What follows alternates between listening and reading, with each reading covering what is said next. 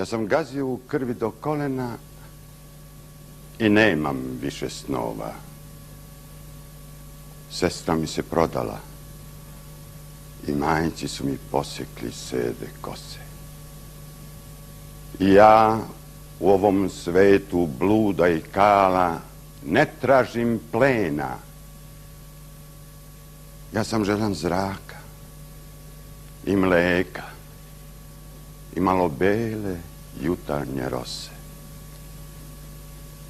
Ja sam se smejao u krvi do kolena i nisam pitao zašto.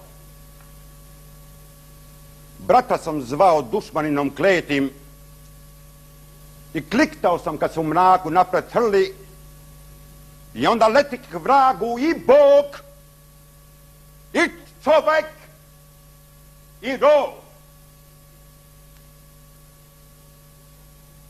A danas mirno gledam kako mi gubavi bakalin ljubljenu ženu grli i kako mi s glave raznosi krov. I nemam volje. Ili nemam snage da mu se svetim.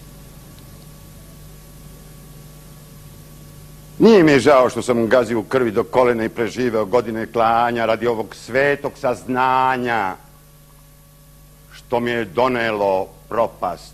I ja ne tražim plena.